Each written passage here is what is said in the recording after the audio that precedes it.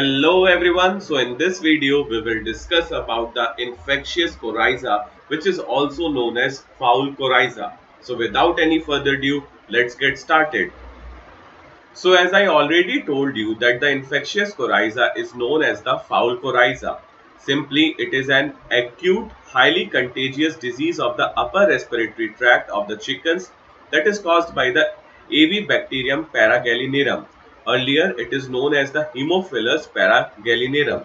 Coming to the host, the disease is limited to the chickens and the quails. The chickens of all the ages are susceptible, but the older birds react more severely.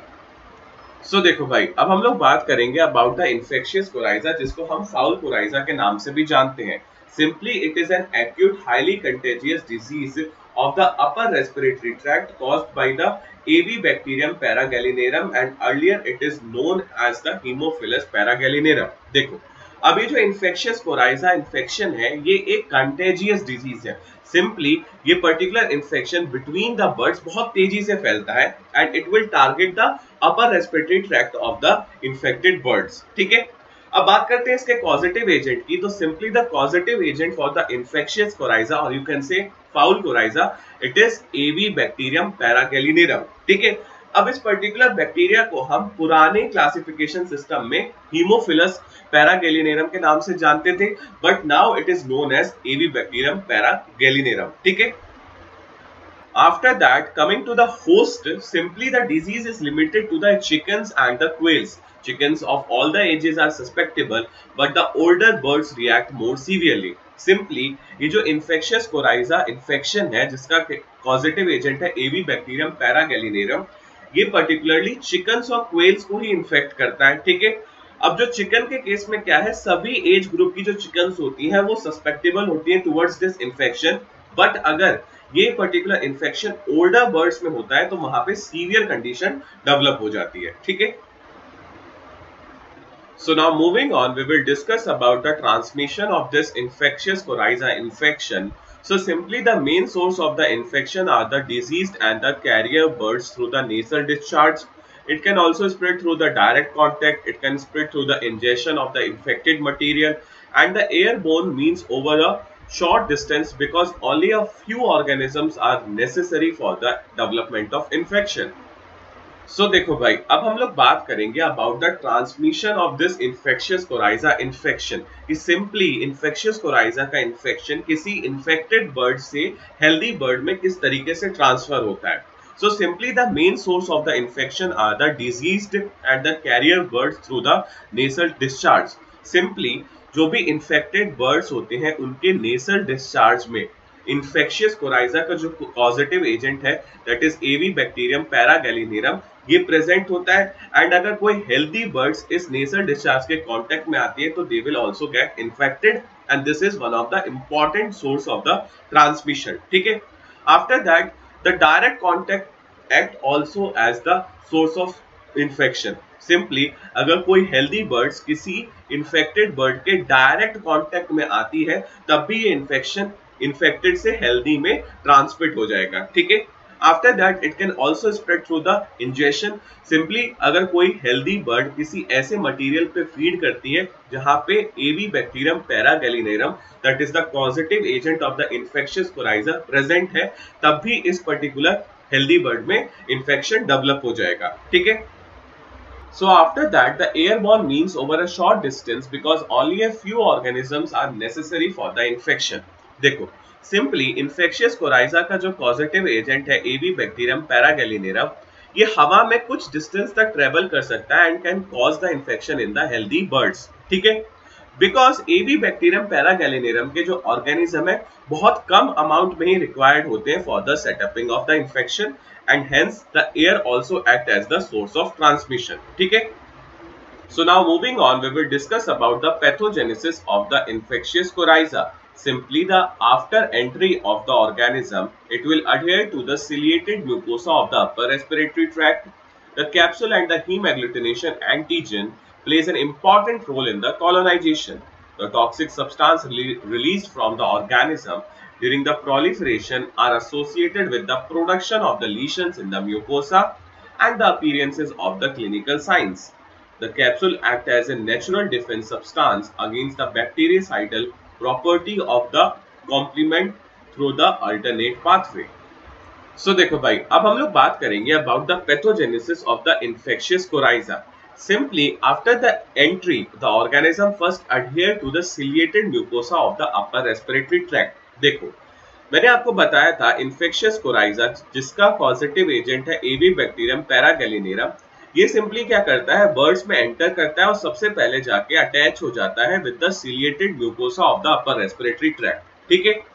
After that the capsule and the haem antigen plays an important role in the colonisation अभी जो एवी bacterium paragallinarum है, इसके पास दो factors present hote which will help in setting of the infection. And it is capsule and the heme agglutination antigen. Okay.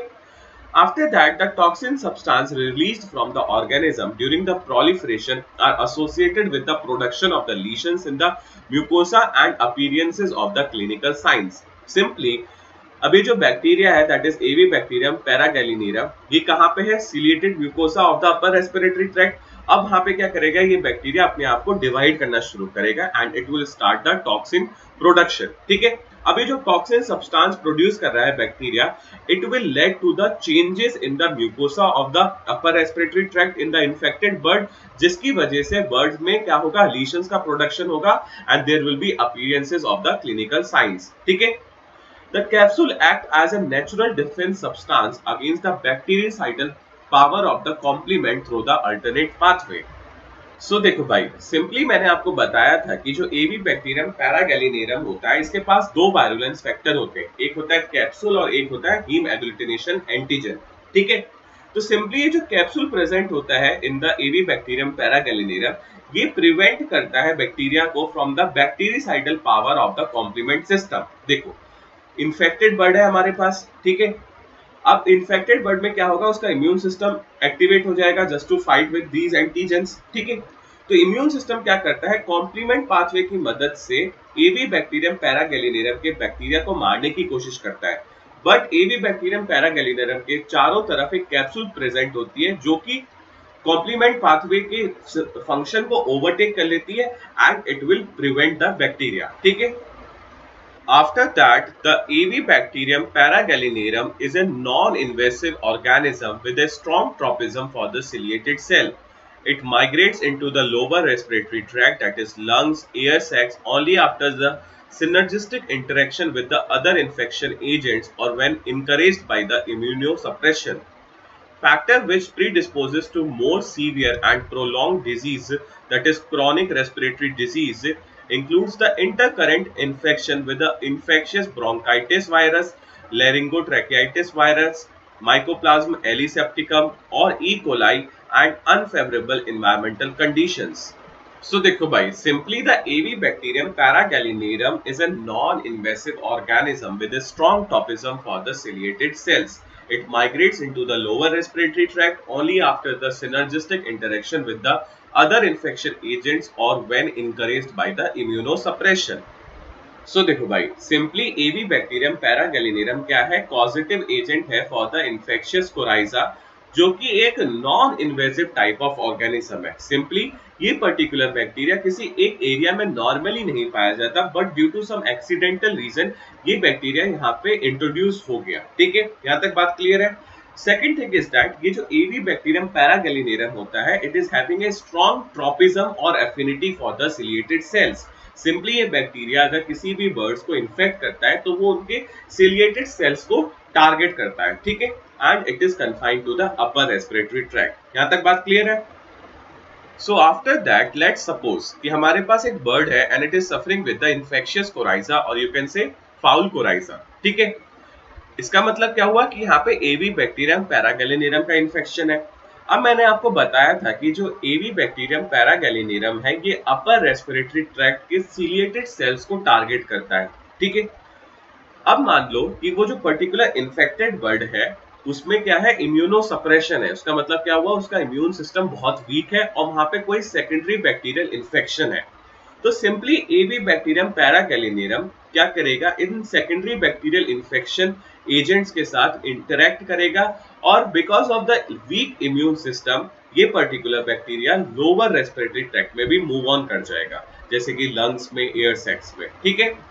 Moving on, the factors which predispose to more severe prolonged disease include the intercurrent infections with the infectious bronchitis virus, laryngotracheitis virus, mycoplasma elisepticum, E. coli and unfavorable environmental conditions.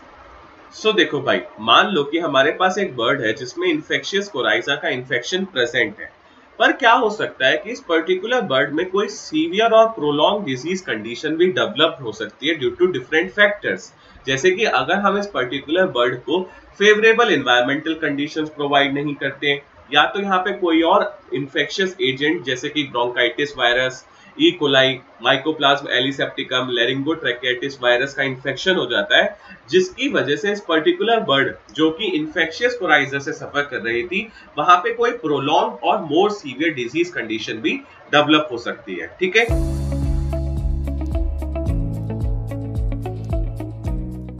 So that's all for this video. We will meet very soon in the next one.